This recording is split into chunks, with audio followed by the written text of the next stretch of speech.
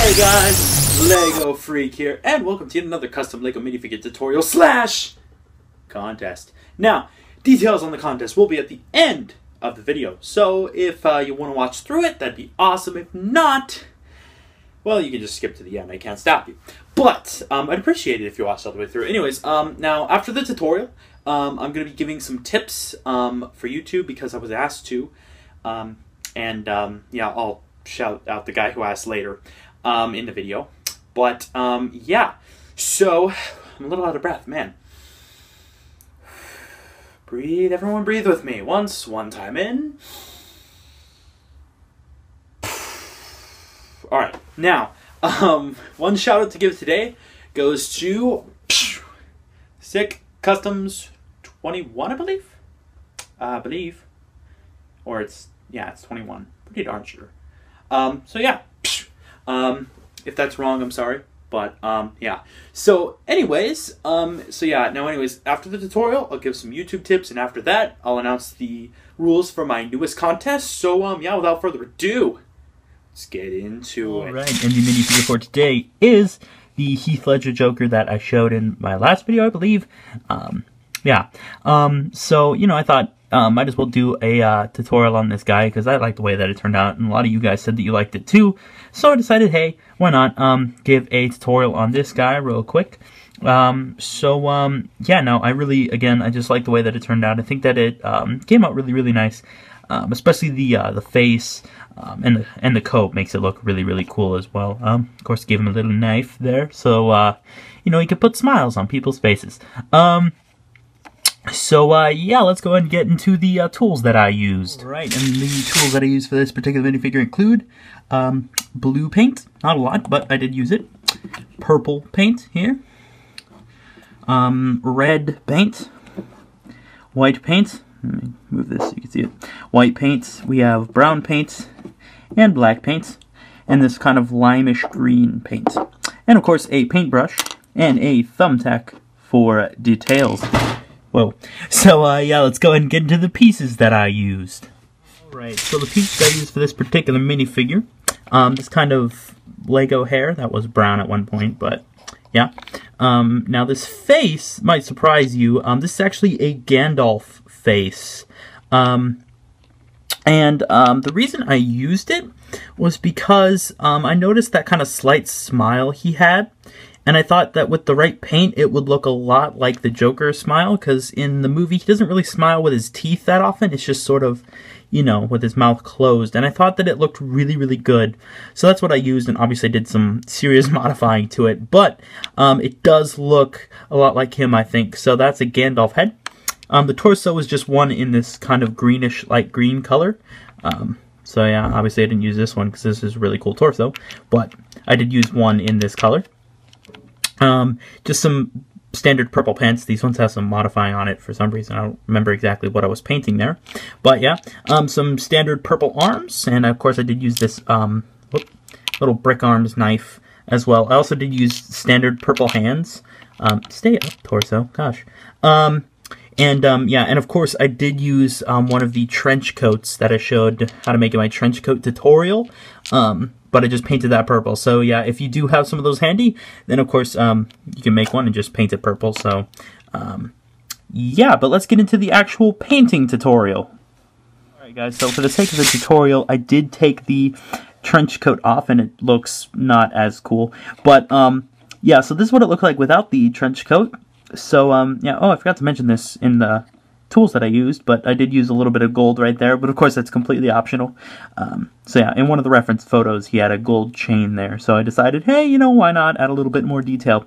Anyways, um, so first off, um, what I did was I basically erased the torso print. Um, you can see that this was, at one point, a Star Wars torso in this lime green color. Um, not much done on the back because the coat covers all that. So, um, yeah. But um, pretty much what I did was just started by taking the print completely off of this torso. Um, and I used this green because I think this green looks really cool. I think it looks uh, like it did in the movie.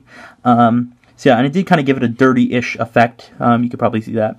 So yeah, now um, the belt piece was not actually purple. This was the same lime green color, which you can tell if I turn the figure around.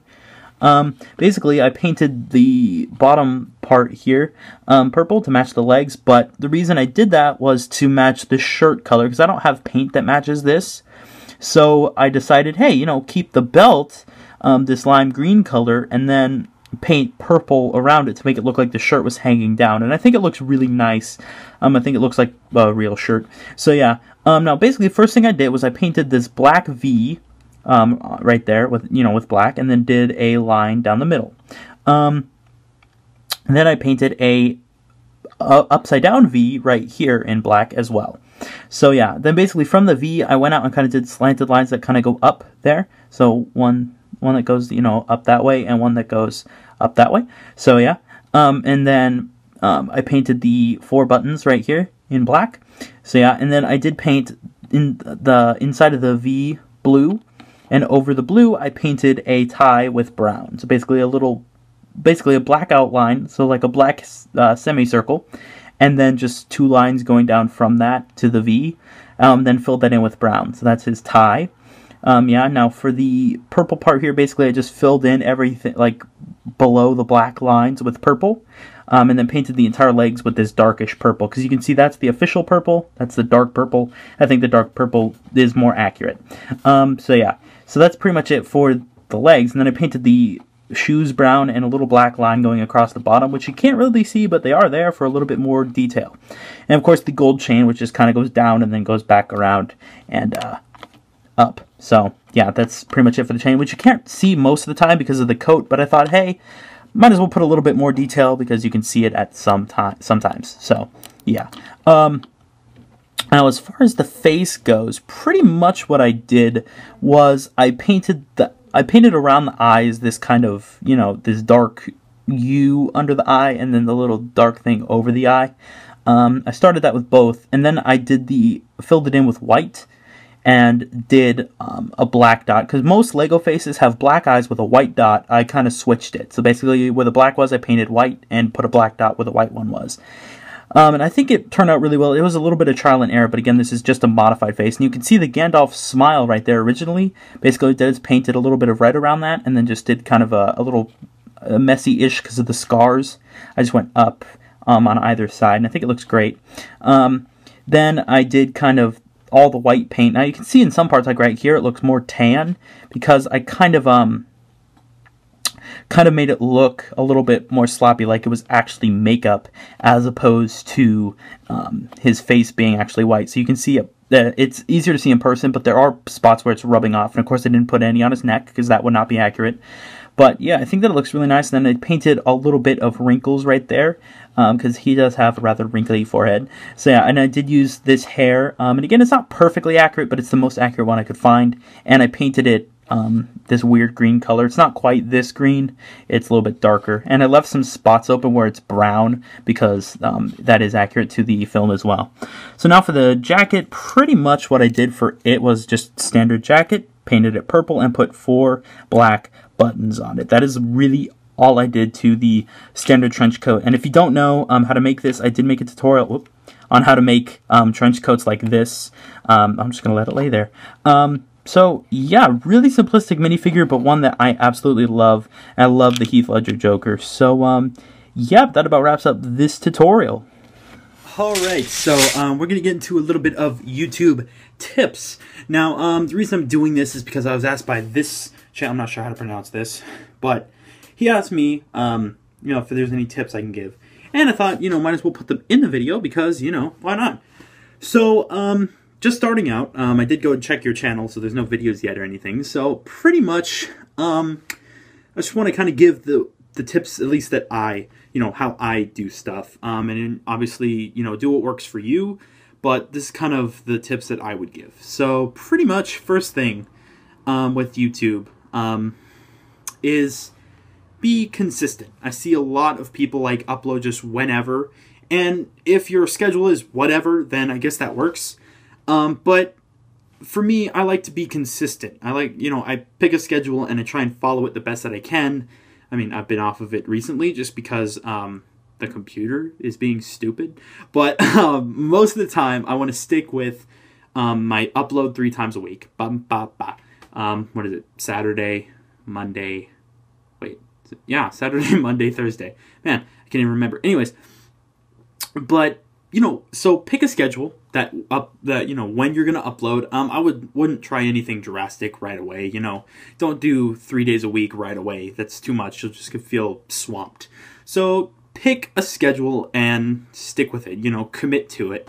Um, you know, if if your upload schedule is once a month, then do it. Stick with it. It doesn't have to be very, very, you know, doesn't have to be a bunch of videos right away, you know? Take your time, work into the YouTube thing. It's not something you just start and get instantly good at. It's something, you know, it's a process. Um, you know, again, I'm not even like I'm not even like I'm not a YouTube genius or anything. I'm not even a customizing genius. So, but, you know, so just kind of work into it. Don't expect instant success because that is not going to happen. Um, you know, don't expect right away a bunch of subs and things like that because, you know, it's just not how it works. So, you know, take your time, work into it, and just pick a schedule and commit to it. Stick with it. If it doesn't work, change it, but still try and keep your videos consistent. You know, once a week, twice a week, whatever.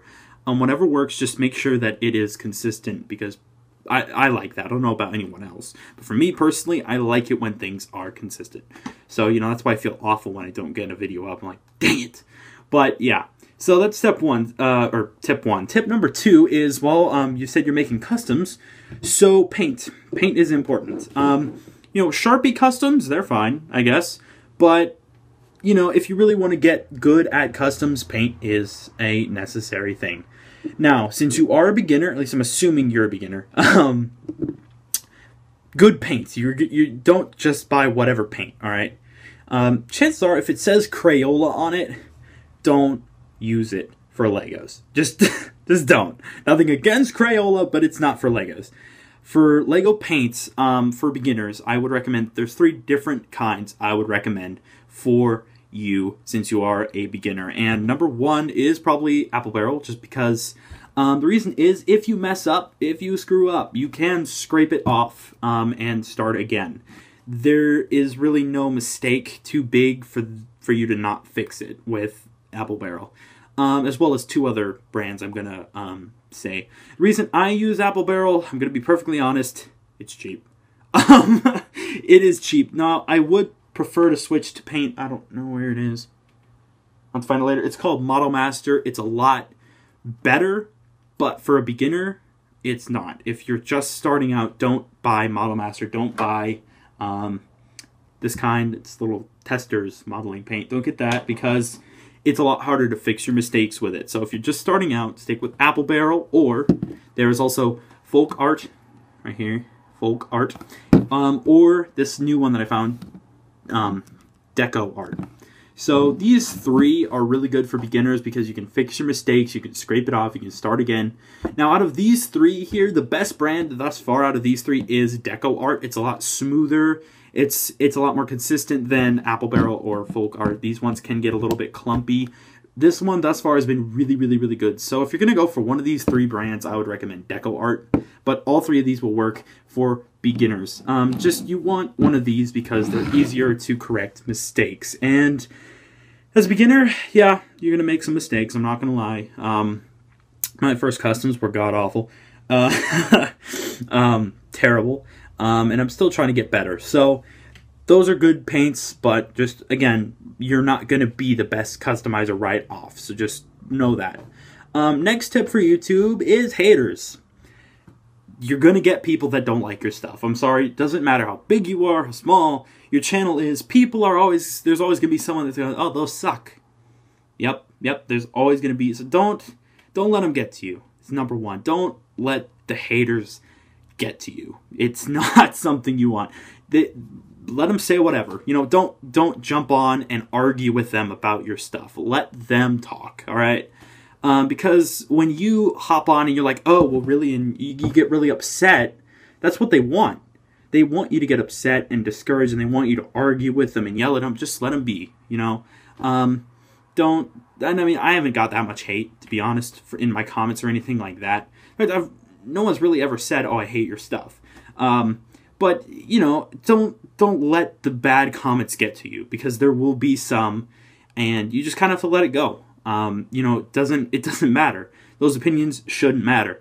So you know that's a, that's a tip for anyone. You know, don't don't let all the bad stuff just don't let it weigh you down. Just let it go. Let it fly past you. Um, because there will also be all the people that say that you're awesome, and you should listen to that because you know if you like your stuff, doesn't matter what anyone else says, does it?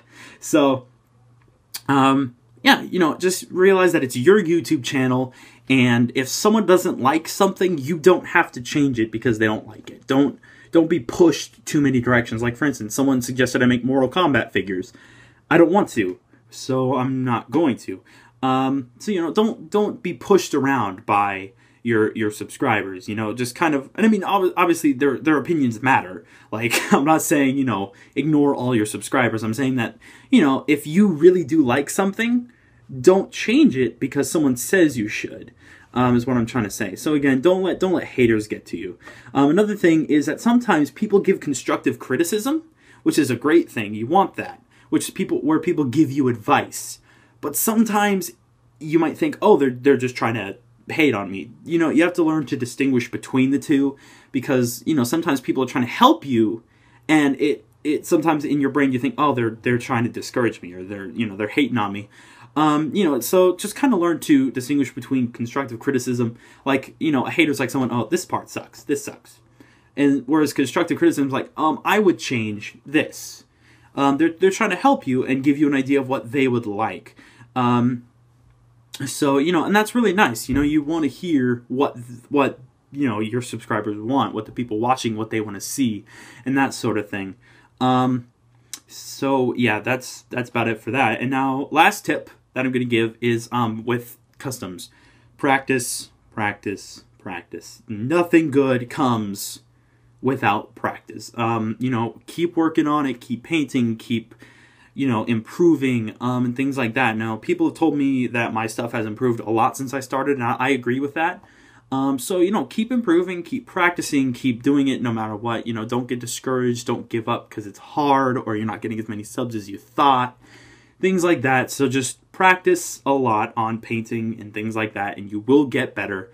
Um, learn to sculpt. Sculpting is amazing. Sculpting changed me. No, uh, so that's that's another tip is you know don't um, don't stop improving, practicing, making your stuff as good as it can possibly be. Um, so um, yeah, that's about it for tips as far as you know both YouTube and uh, customs go. Um, so yeah, good luck with your channel. Um, can't wait to see your first video. Um, as soon as you have a video up, I'll probably subscribe. Um, I haven't done it yet just because um, I don't know. I should probably do that. Anyways, but um, yeah, so um, everyone else watching this, uh, make sure to check out his first video when it's up, um, because you know, give him some support. He's just starting out, starting out. So, um, yeah, now probably the part that you've all been waiting for. We're gonna get into the contest. You guys ready? Let's do this. I can't. You know that part, that part in the video where you want to be cool, but you can't stop the gosh darn camera, and you just sit there like an idiot, like Oh, it's not stopped. Happens to me all the time. All the time. You guys just don't know. Is before you at the epicness that is Big Figs. Oh, there's Groot. Yes, um, I got a package recently with a ton of big figs in it. Most of these um, were from that. Now, that brings us to the contest. Basically, this is a big fig contest. Yes, now, uh, there are some more complex rules. I mean, look at all these things. They are awesome. Now, I'll be changing quite a few of these, like Darkseid. I already have one, so I'll be changing him. I'll be changing Red Hulk, probably. Um, you know, um, so yeah, there's quite a few. I mean, look at all these. There's 16 of them here. They're so beautiful. So, um, yeah. Now, that brings us to the, um, the rules. Now, the rules are, um, basically, um, you can submit as many big figs as you wish. Now, they cannot be big figs that LEGO has already made. Meaning, you can't just update Darkseid like I did. Whoops. I just knocked them all over. Anyways, um, played dominoes. No. So, there's Darkseid that LEGO made, and here's the one that I updated a bit. You, you, this wouldn't count as a submission, because it's not that much different. Um, so it has to be something new, something Lego has not done before. That uh, you know, kind of like the Thing, who's not quite done yet. I mean, his hands look really weird, but and his eyes look weird, but he's almost done. But yeah, something new, something unique um, that Lego has not yet done with a Big Fig. So um, that that's kind of the rules. And again, you can submit up to four. I highly doubt anyone's going to submit more than that unless they have a collection kind of like I do. Um, because again, um, awesome package. I mean, look at all these. Um, this was Rhino at one point, but I'm going to change him, cut the horns off. But yeah, um, so that's the newest contest. Sorry, my finger's in the way. Big Fig contest. I'm not quite sure what the prize will be yet. Um, I'm thinking that I'm gonna have uh, two two different um, choices for the prize. You can either pick, you know, uh, a basically uh, any custom figure you want. I'm not gonna be giving away a big fig just because um, I'm probably gonna use all of these to make something. So, but I'll I'll either be giving away one figure of uh, of your choice that I can make for you, or actually, you know what? I'll I might give away this this one here, this other. Um, basically, the, I already have this one here, which is the one that I painted to make look more realistic. I have this one here. Um, from Iron Man 3, and um, I really don't know what to do with this one. So this is another choice. So uh, basically, the winner can either pick any figure they want me to make for them, a small figure, or they can pick to have this sent to them um, absolutely free, of course. So, um, yeah, but basically the winner gets to choose um, one of those two. Um, so, yeah, pretty much that does it for the um, the contest rules. Um, we want to wish everyone good luck. Now, um, time limits. There, I have not actually chosen a time that this will end, and the reason is big figs are hard to come by.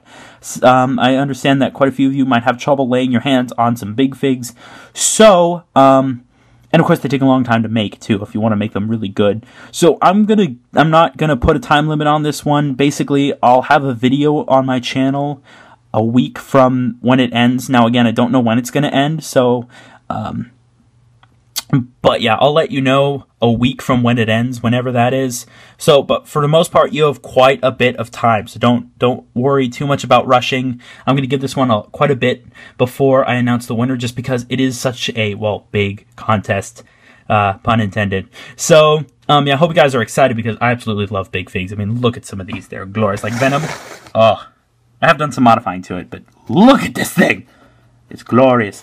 But, um, yeah, now, and again, let me know what big figs you guys would like to see me make with some of these, because, again, I don't need two Hulks. Um, I don't need, you know, two of anything, really. Um, I don't know what to do with him.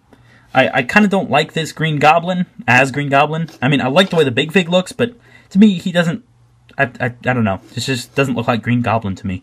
So, you know, you guys can let me know what you might want to see me do with this guy. I'm not sure what to do with Groot, as he's a little not accurate in size, but he looks really cool. Um, so, yeah, I'm not really sure what I'm doing with a lot of these. I am working on a Doomsday back there. I'll give you a little sneak peek look at this. Um, so, again, my finger. Gosh darn it. Um, but yeah, let me know what you guys uh, want me to make with some of these. And again, take your time with this. You know, there's no limit right now. You know, take your time to work on these, to get one. You know, make it good, make it something unique. Blow me away. Um, with some of your big fig uh, entries. Um, and make sure that, you know, you have Lego Freak, or yeah, Lego Freak Contest entry somewhere in the title just so it's easier to find. Um, and also make sure to comment on my most recent video um, that your entry is up. You know, post um, just on the most recent video um, that your contest entry is up so that way it's easy to find because I usually check just my most recent video comments. So make sure to post it you know, whichever video I post most recently. Let me know when your Big Fig submission is up, and I will go over and check it out. So, um, yeah, let's go ahead and wrap up this video. Alright guys, hope you liked the video. If you make sure to drop a like, or leave a like, drop a like, whatever. I drop a like. But, um, anyways, um, as well as subscribe, um, you know, subscribers are growing pretty, pretty good, um, which is awesome. Thank you guys so much. Um, and also let me know in the comments if any of my tips were helpful. Um, I hope they were. And, um, you know, if you're excited about all the new movies coming out, because I am getting pumped for all the new stuff coming out, like Legends of Tomorrow, even though that's not a movie. Um, I've been working on those figures a lot, by the way. Batman vs. Superman, Captain America Civil War, so many good movies coming out. Oh my gosh. Um, I'm going to go see Star Wars 7. No spoilers in the comments. None. None about... St- no. Don't do it. But I will be seeing that probably on Christmas Day, maybe. Um, it depends. But, you know, me and my family are going to go see it. So that, that'll be awesome. So much good stuff. But, um, yeah, anyways, I have a lot of work to do with those big figs. You know, there's quite a few of them over there. So, but anyways, this has been Lego Freak. Peace. Three, two,